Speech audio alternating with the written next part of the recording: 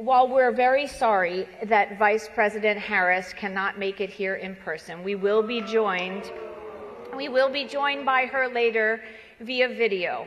The last time a presidential candidate failed to turn up to the Al Smith dinner was 40 years ago. President Biden couldn't be here tonight. The DNC made sure of that. The Catholic fundraiser typically sees both presidential candidates making fun of themselves and each other. Really a pleasure anywhere in New York without a subpoena for my appearance.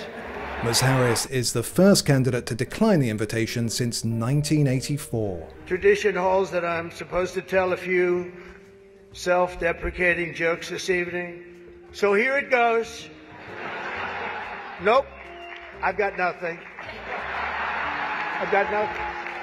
I guess I just don't see the point of taking shots at myself when other people have been shooting at me for a hell of a long time and they shoot at. Instead, Ms. Harris pre recorded a video with Molly Shannon's Saturday Night Live character Mary Catherine Gallagher, in which she joked she wasn't anti Catholic. The Al Smith dinner provides a rare opportunity to set aside partisanship. Cool. Oh, sorry, sorry. Hey, what's going on? Who was that? Oh, sorry, Mary Catherine Gallagher. Mary Catherine Gallagher. It's so nice to meet you. Very nice to meet you, Mary Catherine. Right now, I'm trying to record my speech for tonight's dinner. Oh, yeah, I know. I just want to say that I'm Catholic, and tonight is one of the biggest dinners next to the Last Supper. It is a very important dinner, and it's an important tradition that I'm so proud to be a part of. But not so proud to put in an appearance, a decision that Donald Trump took full advantage of. You can't do what I just saw on that screen.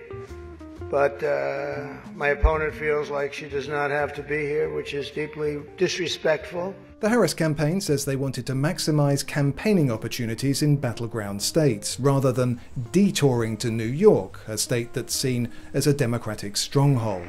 The Trump campaign sees it differently. They suggest that Ms. Harris knew she'd face an uncomfortable night due to her pro abortion stance. It's 100% a shot at Catholics. You can't take a look at it any other way. In the run up to the event, Cardinal Timothy Dolan, who hosts the dinner, seen here sitting next to Donald Trump, said he was disappointed. It's a shame because the nature of the evening is to bring people together. Right. The nature of the evening is civility, patriotism, humor. Mm-hmm. It's not a campaign speech, mm-hmm.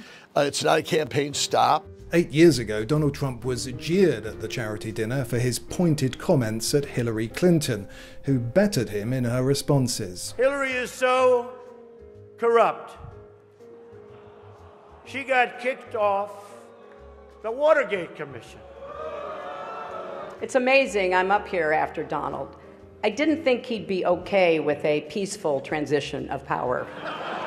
Unfortunately for Ms. Harris, her failure to attend meant there was no opportunity to respond.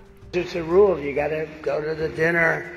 You got to do it, otherwise, uh, bad things are going to happen to you from up there. And Mr. Trump took full advantage. If you really wanted Vice President Harris to accept your invitation, I guess you should have told her the funds were going to bail out the looters and rioters in Minneapolis, and she would have been here guaranteed. She would have been here. Guaranteed.